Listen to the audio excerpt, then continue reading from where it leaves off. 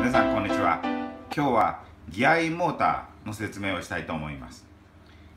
モーターこのようなモーターまあ普通ありますよね。私たちのモーターは中身がこんな風になっています。よく見てください。中空っぽなんですね。ですから軽いわけです。軽くっても出力が取れるというのがこの私たちの作っているモーターの特徴です。もう一つ特徴はコアレスモーターであるために非常に高速回転ができる。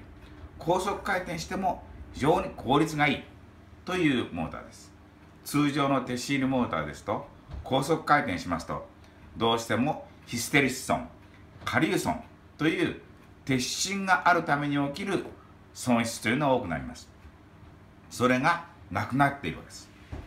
でこのモーターの特徴を生かすためには高速に回ってもお客さんが使うところはゆっくり回る。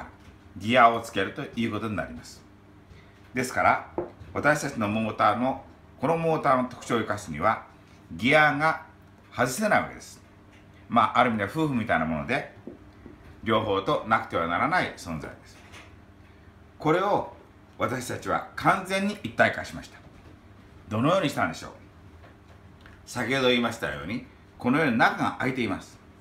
ここの中の開いたところにギアを入れてしまおう。というのが私たちの考えです。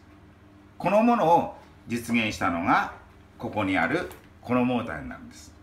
つまり